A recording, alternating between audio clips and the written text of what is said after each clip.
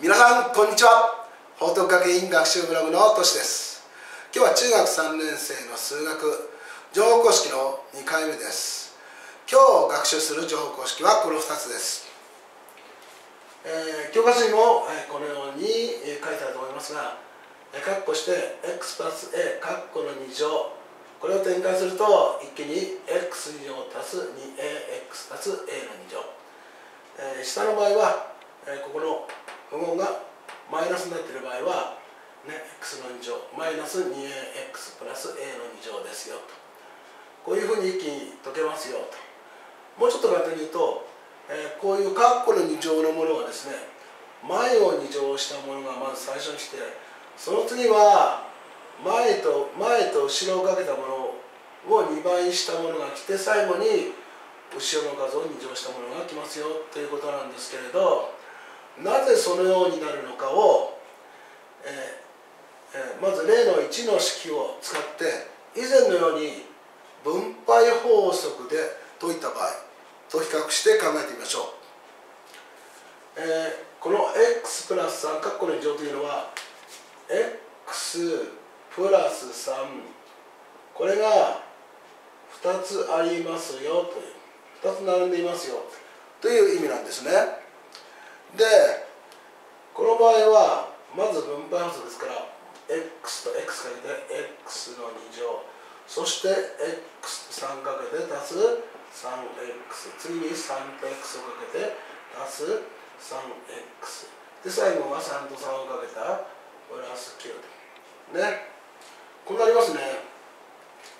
じゃあこの 2ax というのは実は実はここの部分をまとめたものです。つまり x と3をかけたものこれが2個出てくるんですよねと。ですからこれは x2 乗 3x を2倍して足す 6x 最後は同じものですから、ね、3×3 で3の2乗の9になりますよと、ね、この9というのは同じものですから、ね、この2乗というふうに表してるわけですね。で一気にねこれが分かっているんだから一気にこっち行っちゃおうよ、ね、こっち使っちゃおう。よというのが今回の乗法公式の学習。ということになります。では実際にこの例題1と2を乗法公式。ねこの2つの乗法公式を使って、えー、展開してみるとこんな風になります。まず前の2乗 x の2乗。次には前と後ろをかけた 3x を2倍して 6x で後ろが3の2乗で足す9ですよこんなに早くできますよということなんですね。はい。ではマイナスの場合も同様にして解くとまず前の2乗。次には x とマイナス4をかけてマイナス 4x になったものを2倍しますからマイナス 8x そして最後はマイナス 4× マイナス4だからプラスになるんですね。マイナス4の2乗プラス16はい。これで、えー、式の展開が出来上がりです。ね。乗法式使うと早く解けますよねやはり。ではもう少し、えー、下の6台で練習してみましょう。えー、もしこの辺は自分では楽に解けるよっていう人はここで一度動画を止めて実際に解いてみてください。その後もう一度動画を、えー、動かして、えー、学習正しいかどうか答えが合ってるかどうかを確認してみてください。では毎日からいきます。はい。X プラス5括弧の2乗はまず前の2乗 x の2乗次に5と x をかけた 5x を2倍するので 10x そして後ろの2乗で5後に15と。はい。これで出来上がりです。はい。丸に x カッコして x 引く2カッコ閉じて2乗ですね。まず前の x を2乗します。次にはマイナス 2x を2倍するのでマイナス 4x そしてマイナス2の2乗でプラス4はい。これで出来上がりました。はい3番に行きます。A プラス9括弧の2乗です。文字が x から a に変わっています。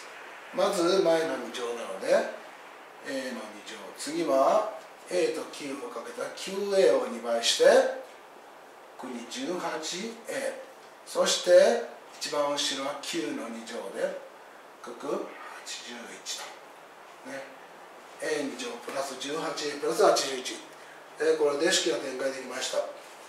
さあ丸4、えー、a-7 括弧の2乗ですね。まず前の2乗。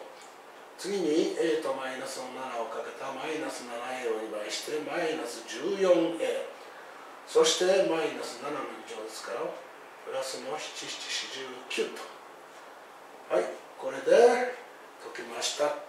今度は a プラス b これ文字だけですけれどこれも同じように考えます。まず前の2乗 a の2乗。次には a と b をかけると ab ですよね。これを2倍するので 2ab こうなります。そして最後は後ろの2乗なら b の2乗が来ますね。え数字じゃないとちょっと戸惑ってしまう人がいるかもしれませんが公式は全てに通用するものですからねこの公式を覚えていれば簡単に解くことができます。さあ最後6番です。こちらも x-y 括弧の2乗というように文字だけの式ですけれど今言ったように文字だけであっても数字であっても全て公式に当てはめてください。まず前の2乗です。